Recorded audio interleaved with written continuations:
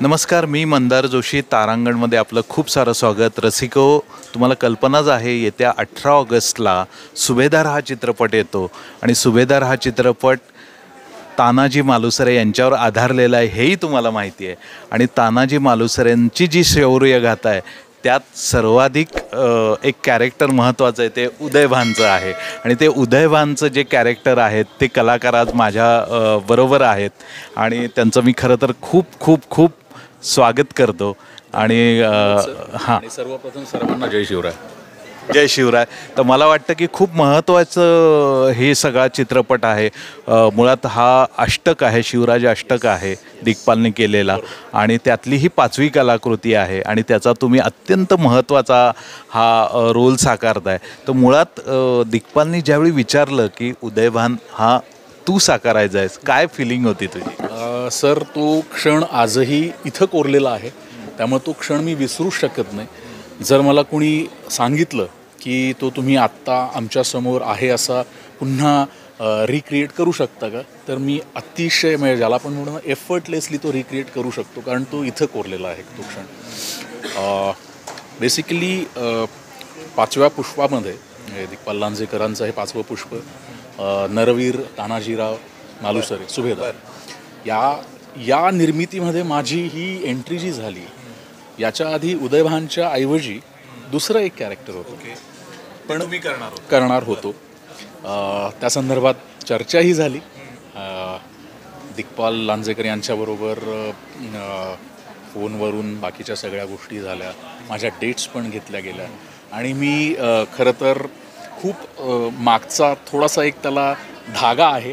त्या धाग्याबद्दल पण बोललो. म्हणजे इवन फर्जंतपासूनचा एक धागा आहे तो. आणि एक मनोमन इच्छा होती की या अष्टकाचा मी सुद्धा एक एक हिस्सा असावा.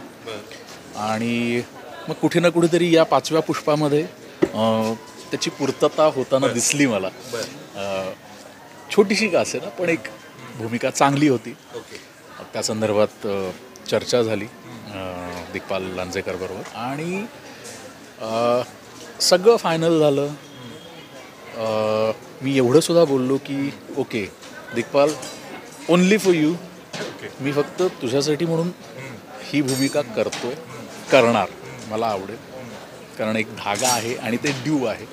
पण याच्या पुढं I would like to be a part of your films in a bigger role in a substantial in a substantial role म्हणलं नक्कीच. आपण सु मी म्हणलं ॲटलिस्ट आपण कुठेतरी सुरुवात करू.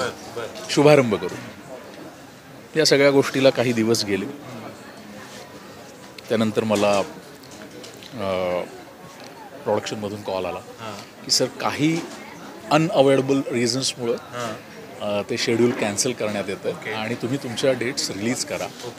आणि तो हिस्सा हे. होत नाही आहे म्हटलं ठीक आहे दॅट्स ओके मै आय कॅन कम्प्लिटली अंडरस्टँड कारण हां हां क्रिएटिव्ह फील्डमध्ये खूप गोष्टी या अनपेक्षित असतात होत असतात. आणि काही गोष्टींची सरमिसळ आणि काही गोष्टींची ज्याला आपण म्हणू बांधणी करताना खूप गोष्टी आपल्याला गाळाव्या लागतात खूप गोष्टी ॲड होतात. म्हटलं काहीच प्रॉब्लेम नाही. आणि म्हटलं या पूर्ण तुमच्या टीमला माझ्या नेहमी शुभेच्छा आहेत. त्या गोष्टीला काही दिवस उलटले. आणि त्या दरम्यान पुन्हा मला फोन आला. सर तुम्ही काय करताय? या पुढच्या हां काही दिवसांमध्ये किंवा नोव्हेंबरमध्ये तुम्ही काय करताय? November December? मी म्हटलं माझे एक दोन प्रोजेक्ट्स आहेत. काय काय झालं? नाही दिग्पाल सरच बोलतील. दिग्विजय. म्हणलं कॅप्टन काहीही नाही. काहीही नाही. मी तुला एक गोष्ट सांगितली करायला तर करशील का? मी म्हणलं हे डिपेंड आहे तू काय करायला सांगतोस?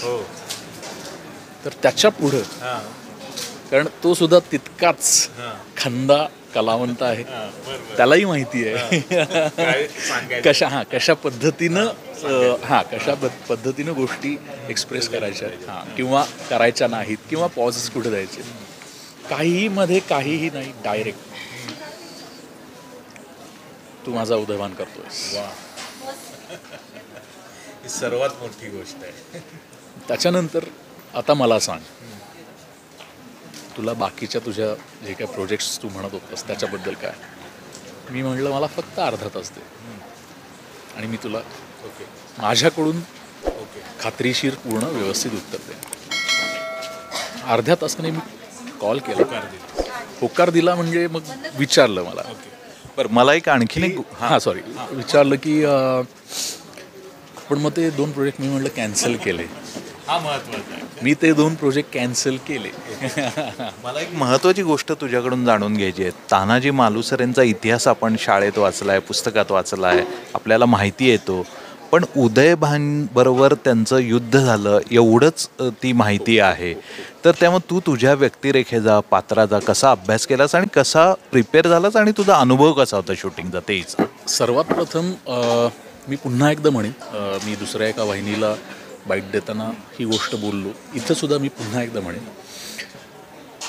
भालजींचं नाव घेतोय. अं, त्यांची एक प्रोसेस होती भालजींची. आता प्रत्यक्षात ती अनुभवाला अनुभवायला मला ती मिळाली नाही कारण माझं ते वय नव्हतं जेव्हा ते गेले त्यावेळी. पण त्यांच्याबद्दल खूप ऐकलं खूप वाचलेलं आहे. किंवा भालजींना ज्यांनी बघितलं किंवा अनुभवलं त्यांच्या तोंडून त्यांच्या मुखातून खूपशा गोष्टी ऐकल्या. त्यामुळे एक प्रोसेसबद्दल माहिती होती एक आपल्या व्हिज्युअलायझेशनमध्ये किंवा एक इमॅजिनेशनमध्ये कल्पना होती की भालजींची प्रोसेस. मी असं म्हणेन हे माझं वैयक्तिक मत आहे. ही जी प्रोसेस आहे ती प्रोसेस कुठेतरी मला या चित्रपटाच्या शूटिंगच्या दरम्यान अनुभवायला मिळाली. कारण कुठेतरी अप्रोच असेल एक लेखक म्हणून एक दिग्दर्शक म्हणून आणि लेखक दिग्दर्शक हा सुद्धा शेवटी एक कलावंत असतो. एक कलाकार म्हणून एक सच्चा खंदा कलाकार म्हणून. दिग्पाल लांजेकर यांची प्रोसेस जी आहे ती कुठेतरी आहे त्याच धाटणीची ज्या त्यामुळं मला असं वाटतं की ती- ती प्रोसेस भालींची प्रोसेस कुठेतरी अनुभवायला मिळाली. हा पहिला मुद्दा. त्या प्रोसेसच्या दरम्यान ज्या पद्धतीनं त्यांनी वर्कशॉप्स ठेवले. आणि ते वर्कशॉप्स का आहेत? मग त्याच्यात तुमची देहबोली आणि अगदी ज्याला आपण ॲक्शन सीन्स म्हणू. ॲक्शन सीन्स साकारताना. आणि पण ते नुसते ॲक्शन सीन्स नाही आहे ओके. ते त्या काळातले योद्धे आहेत. बरोबर. ज्याला आपण म्हणू तलवारबाज आहेत.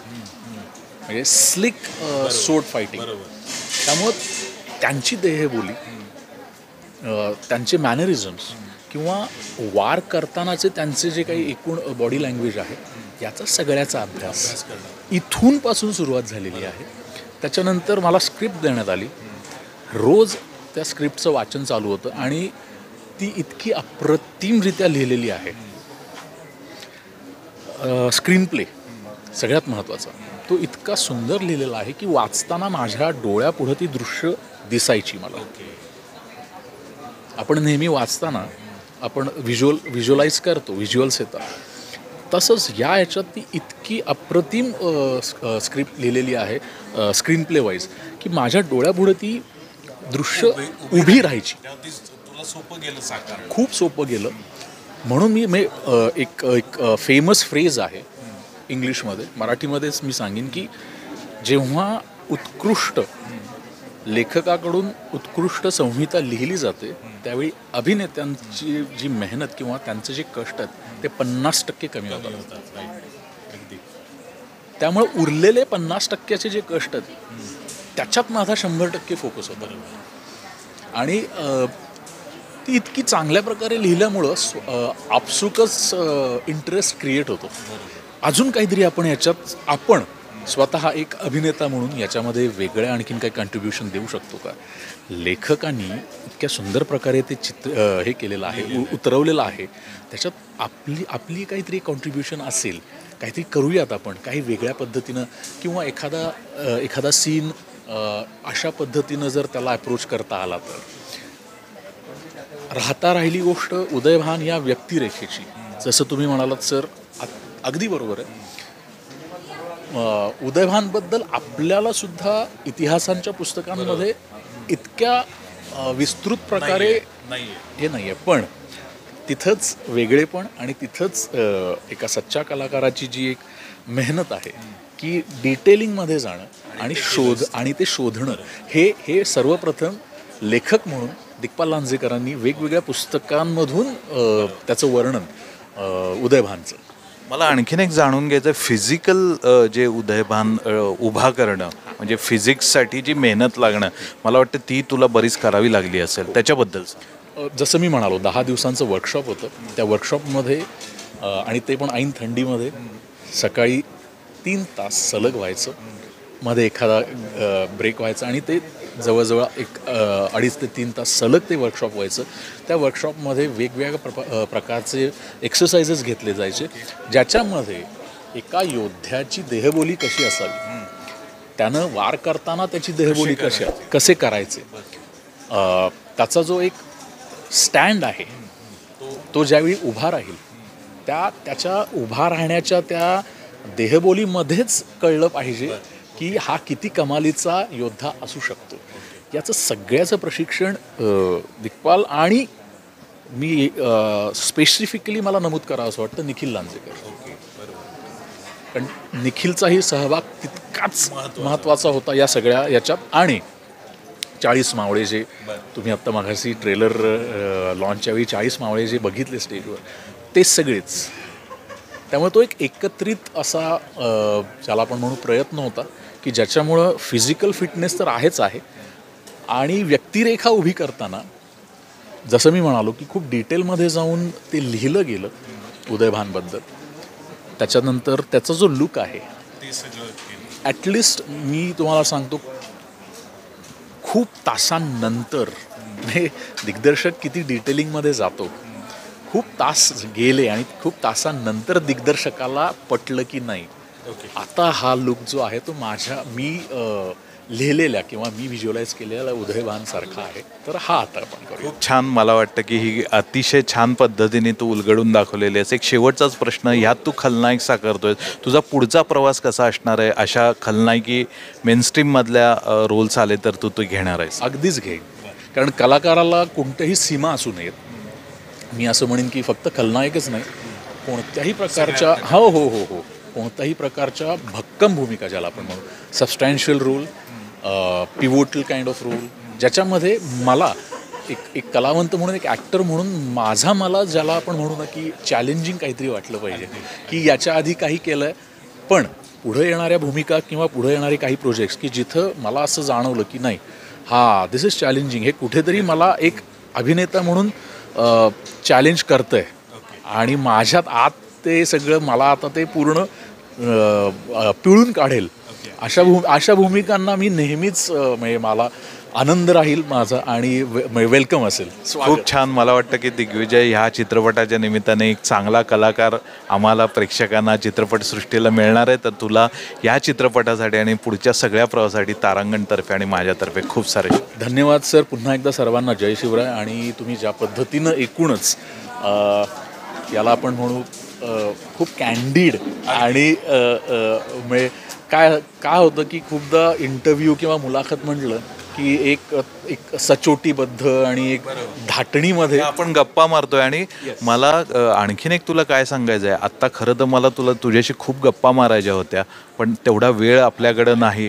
त्यामुळे मला नक्की खात्री आहे तुझ्याबद्दल प्रेक्षकांना खूप जाणून घ्यायचं आहे ते आपण ह्या चित्रपटाच्या यशानंतर गप्पा मारूया. नक्कीच नक्कीच. धन्यवाद. धन्यवाद.